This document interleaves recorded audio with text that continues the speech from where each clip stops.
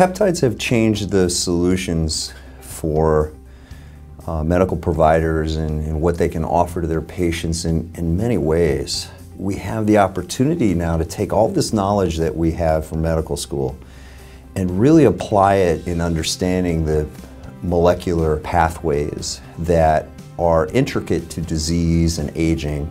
I wrote this book because it, it, really was a passion to bring together a lot of things that I've been working in, in trying to educate the public and educate my healthcare providers and understanding the relevance of where peptides can become uh, a significant part of their uh, protocols and modalities and therapies and treating their patients and, and, and changing their lives. In introducing peptides into this forum of, of teaching medical providers and not just the public, but it has to be backed up by the literature. You have to give everybody the opportunity to understand really what's happening.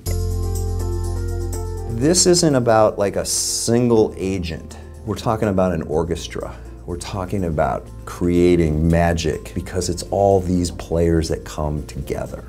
And that's absolutely what this is all about. Because when I'm working, when we're working with peptides and we're working on the brain, we're really not just working on the brain, we're working on the gut, we're working on the cell.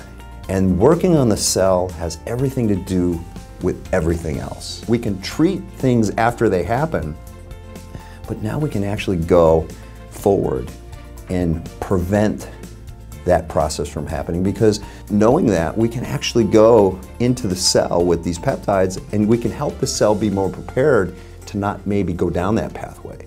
It's kind of like you've been given the, this new lease of understanding that there can be magic in what we do. And people want to know that. They want to hold on to something like that and know that there is there is some magic. There is some amazing aspects of what we do to to help them. And that's, that's a game changer. This is the first time I think that a practitioner, healthcare provider, or anybody who's really seeking out knowledge can go and look at this book and say, oh my gosh, this makes sense. I'm just a messenger. I'm, I'm just providing, again, this incredible tool of knowledge. Remember, knowledge is power and give that provider the maybe the influence or that little spark where they go through this book and they go, wow, you know what? This gives me an opportunity to help my patient. And, and I'm, I'm buying into it and I want to know more. So if I can influence someone to improve what they're doing right now, oh my gosh, that's, that's magic again.